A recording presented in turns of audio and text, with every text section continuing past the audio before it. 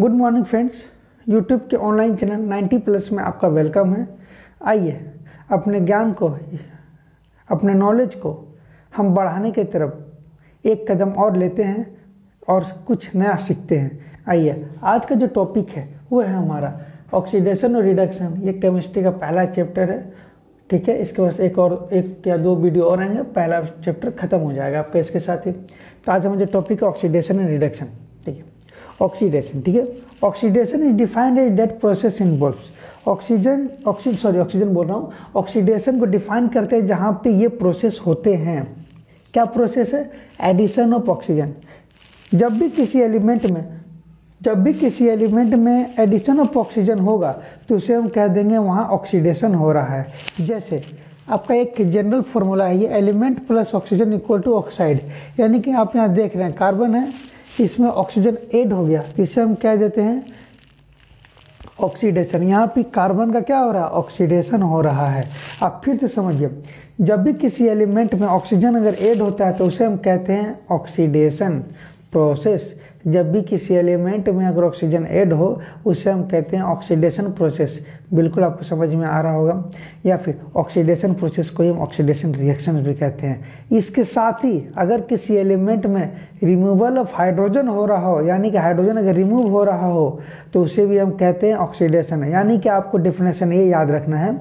जब भी किसी केमिकल प्रोसेस में किसी एलिमेंट का अगर ऑक्सीजन ऐड हो रहा हो या फिर हाइड्रोजन रिमूव हो रहा हो तो उसे हम कह देते हैं कि यहाँ पे ऑक्सीडेशन प्रोसेस हो रहा है ऑक्सीडेशन रिएक्शंस हो रही है। ठीक है, चलिए, जैसे यहाँ पे आप देख रहे हैं एच टू एस है हाइड्रोजन सल्फाइड और यहाँ पे है क्लोरीन देखिए, यहाँ से हाइड्रोजन हट गया क्लोरीन के साथ आ गया और सल्फ़र अकेला हो गया। यानी कि सल्फ़र से जो है हाइड्रोजन हट गया। तो सल्फ़र का क्या हो गया? ऑक्सीडेशन हो गया। ठीक है तो आप समझ गए होंगे कि ऑक्सीडेशन क्या है? ऑक्सीडेशन है आपका किसी भी एलिमेंट से या कंपाउंड से हाइड्रोजन का हटना या फिर किसी एलिमेंट में ऑक्सीजन का जुड़ना। ये क्या है? ऑक्सीडेशन है। मैं एक बार फिर से आपको बता दूँ, किसी एलिमेंट में ऑक्सीजन का ऐड होना ही ऑक्सीडेशन है और किसी कंपाउंड से हाइड्रोजन का हटना ही क्या है? ऑक्सीडेशन है। आइए। इसके, इसका डेफिनेशन पढ़ लेते हैं, ठीक है? ये आपको एग्ज़ाम्स में लिखना है, यही आपको डेफिनेशन एग्ज़ाम्स में लिखना है। अगर आप इस तरह से लिखेंगे तो एग्जामिनर्स के पास कोई ऑप्शन नहीं रह जाएगा कि आपका मार्क्स ना दे, ठीक है? वो काटेगा नहीं आपका मार्क्स वो हंड्रेड परसेंट देने के लिए तैयार रहेगा, ठीक है? चलिए oxidation is a chemical process ये क्या एक केमिकल प्रोसेस है? That involves addition of oxygen ये आपको ज़रूर लिखना है। टू आर सब्सटेंस ठीक है?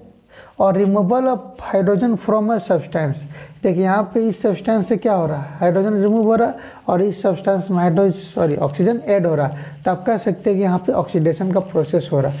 मेरे ख्याल से आपको ऑक्सीडेशन पूरी तरह से समझ में आ गया होगा। अगर नहीं आया तो फिर से मैं आपको बता दूँ। ऑक्सीडेशन मतलब होता है किसी भी सब्सटेंस में ऑक्सीजन का एड होना या फिर किसी भी सब्सटेंस से हाइड्रोजन का रिमूव होना। ठीक है? एग्ज़ाम्पल आपके सामने है।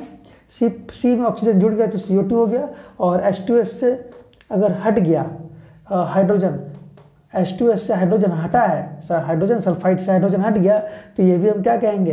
ये ऑक्सीडेशन है देखिए, अब एस था, यहाँ पे एस हाइड्रोजन के साथ है, यहाँ एस अलग हो गया। समझ गए? तो ऑक्सीडेशन आपका क्लियर हो गया। अब रिडक्शन क्या है? रिडक्शन जस्ट इसका अपोजिट है। रिडक्शन क्या है? इसका जस्ट अपोजिट है। यानी कि ऑक्सीडेशन का जस्ट अपोजिट रिडक्शन होता है। ऑक्सीडेशन में आपका ऑक्सीजन एड हो रहा था रिडक्शन में आपका ऑक्सीजन रिमूव होगा। वहाँ जो है हाइड्रोजन रिमूव हो रहा था, यहाँ हाइड्रोजन ऐड होगा। तो आइए देख लेते हैं। आपके लिए ईजी हो गया, समझना। बहुत ईजी हो गया। है ठीक है, आइए देख लेते हैं। रिडक्शन क्या है? Reduction is the chemical process that involve addition of hydrogen देखिए, मैंने कहा था ना टू अ सब्सटेंस और removal of oxygen from a substance oxidation में क्या हो रहा था? एडिशन ऑफ़ ऑक्सीजन रिडक्शन में क्या होगा? रिमूवल ऑफ़ ऑक्सीजन ये आपको याद रहेगा, ठीक है? यहाँ क्या होता है रिमूवल ऑफ़ हाइड्रोजन ऑक्सीडेशन में यहाँ क्या हो रहा था? एडिशन ऑफ़ हाइड्रोजन यानी कि जस्ट रिवर्स आइए इसको एग्जांपल के साथ समझिए। एडिशन ऑफ़ हाइड्रोजन क्या है? नाइट्रोजन में हाइड्रोजन जोड़ेंगे अमोनिया बनेगा। ये बहुत इंपॉर्टेंट रिएक्शन है, याद कर लीजिएगा। Nitrogen plus three S two gives two N S three nitrogen ये हाइड्रोजन और ये जो बना आपका एन एस थ्री इसको बोलते हैं अमोनिया ठीक है? ये आप याद रखिएगा। तो एडिशन ऑफ़ हाइड्रोजन आप समझ गए। अब जी रिमूवल ऑफ़ ऑक्सीजन ठीक है? रिमूवल ऑफ़ ऑक्सीजन ऑक्सीजन क्या होगा? अग, अगर जैसे किसी ऑक्साइड्स में अगर ऑक्सीजन हट जाए तो इसमें हम कहेंगे रिडक्शन देखिए अब एच है मर्करिक ऑक्साइड इसमें से ऑक्सीजन हट जाएगा। हट गया क्या बन गया? मरकरी बन गया। यानी कि आप इसको अच्छे तरीके से समझ गए। तो आइए आज के जो हमने पढ़ा उसको समराइज करते हैं। समराइज इस तरह से करते हैं। कि ऑक्सीडेशन वो होता है जहाँ ऑक्सीजन का एडिशन होता है और रिमूवल ऑफ़ हाइड्रोजन होता है। रिडक्शन वो होता है जहाँ एडिशन ऑफ़ हाइड्रोजन होता है और रिमूवल ऑफ़ ऑक्सीजन होता है। चलिए, इसका एग्जाम्पल्स आपने देखा और इसी एग्जाम्पल्स को आप अपने दिमाग में बैठाइए और एग्ज़ाम्स की तैयारी कीजिए। ठीक है? चलिए, इसी के साथ ये टॉपिक्स ख़त्म हो गए हैं और मैं नेक्स्ट टॉपिक्स में फिर आऊँगा और आपको एक नया चीज़ पढ़ाऊँगा। ऐसी नई नई चीज़ें ऐड होते रहेंगी और आपका ज्ञान बढ़ता रहेगा। पंद्रह फुट तक हर चीज़ कंप्लीट हो जाएगी। आप अपने एग्ज़ाम्स की तैयारी करते रहिए बुक्स पढ़ते रहिए, ठीक है? और हमेशा अच्छा चीज़ें कीजिए, किसी को बुरा मत सोचिए, ठीक है? हर समय अपने डेवलपमेंट के बारे में सोचना कि किसी को गिराने के बारे में, ठीक है?